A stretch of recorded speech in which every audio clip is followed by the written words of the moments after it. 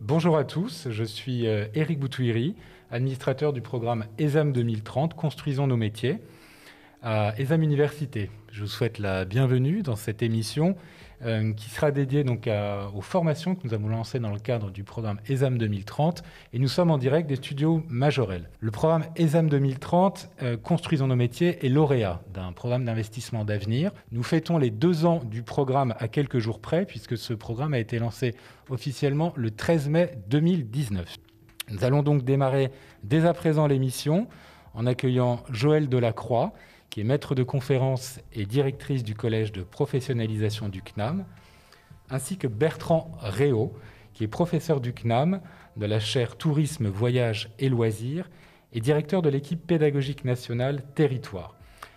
Alors, Joël et Bertrand, vous êtes tous les deux à l'origine de la construction pédagogique des formations. Donc, on va commencer par euh, un certain nombre de petites questions. Euh, la première, c'est à qui s'adressent les euh, formations euh, Bac plus 1 du programme ESAM 2030 Construisons nos métiers? Eh bien, ce sont des formations pour les bacs pro et les bacs technologiques. Ce sont aussi des formations pour les jeunes qui n'ont pas eu de vœux satisfaits dans Parcoursup en phase principale et qui se retrouvent en phase complémentaire. Mhm. Ce sont aussi des formations pour les jeunes qui sont, entre guillemets, en galère dans l'enseignement supérieur, c'est-à-dire qu'on commencé des formations à l'université, qui ne parviennent pas à finaliser leurs études, qui ne se retrouvent pas euh, ou qui ne sont pas bien dans l'univers de l'université, soit euh, pour les pédagogies qui sont mises en œuvre ou les grands groupes euh, qui, forment les promos des universités. Et enfin, ce sont aussi des formations pour des actifs en reconversion. Et quelles sont les spécificités de ces, formations Bac plus 1 et ces avantages par rapport finalement à d'autres types de cursus qui sont peut-être un peu, plus longs eh Bien, Tout d'abord, je dirais que ce sont des formations courtes qui permettent un accès direct à l'emploi, des formations avec des petits effectifs dans les promotions. Ce sont aussi des formations avec des pédagogies innovantes euh, dans lesquelles euh, l'élève est au centre euh, de ses apprentissages. Il va être actif dans la construction de ses apprentissages et de ses compétences. Ce sont des apprentissages également qui utilisent les outils du numérique, que ce soit dans la formation ou dans des activités d'autopositionnement, puisque aujourd'hui, le numérique est partout, donc c'est important de l'utiliser dans les formations et c'est important aussi de former les jeunes à l'utilisation du numérique. Euh, pour finir, je dirais que si euh, ces formations permettent un emploi direct à l'emploi, c'est aussi des formations qui permettent aux jeunes qui le souhaitent de poursuivre des études, soit vers un bac plus 2, un bac plus 3, ou même euh, au-delà, euh, et qui vont ainsi leur permettre de rebondir dans leurs études. Alors justement, par rapport à cette question-là, comment est construit le programme pédagogique sur un an et à quels besoins en compétences répond-il?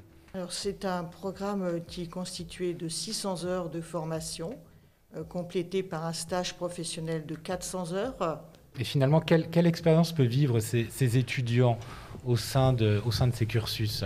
Ils ont donc à la fois l'intervention de, professionnels, et les professionnels, de part aussi la pédagogie euh, qui est promue, euh, eh bien, euh, les impliquent de manière très forte, hein, avec des pédagogies par projet, avec des, classes inversées, qui vont permettre justement à nos apprenants eh bien, de s'approprier véritablement les compétences professionnelles attendues. Que peut-on faire après un bac plus 1, très concrètement?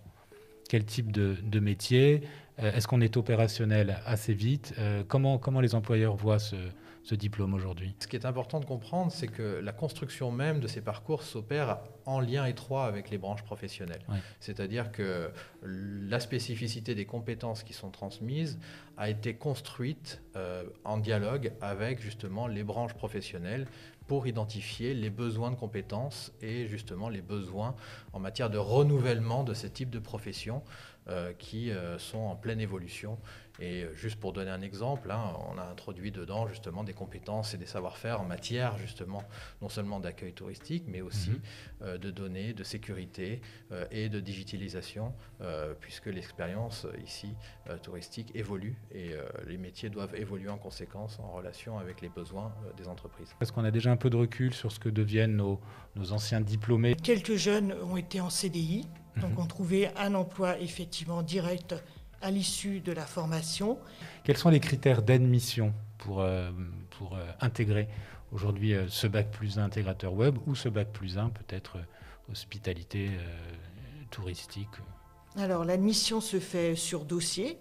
Donc ben, pour des jeunes qui viennent de Parcoursup, c'est le dossier Parcoursup. ce qui est important, c'est que pour ces bac plus 1, eh bien, on n'apporte pas beaucoup d'importance aux résultats scolaires.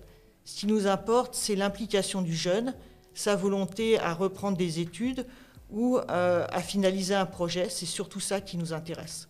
Si vous deviez avoir un, mot ou une petite phrase pour, euh, pour résumer ce, ce bac plus 1 eh bien, moi, je dirais que le bac plus 1, c'est une formation courte, innovante, dynamique, qui permet un accès direct à l'emploi. moi, je dirais que le Bac plus 1, c'est une formation à part entière, mais avec une originalité forte, euh, tant par rapport à son positionnement que par rapport à, sa à la professionnalisation qu'elle permet, et, euh, une opportunité euh, extraordinaire pour nos jeunes. Merci Joël Delacroix, merci Bertrand Réau pour vos différentes interventions. Et puis euh, merci à nouveau d'être engagé dans ces formations de niveau Bac plus 1, dont on voit bien qu'elles euh, constituent un réel euh, besoin pour une partie de notre jeunesse.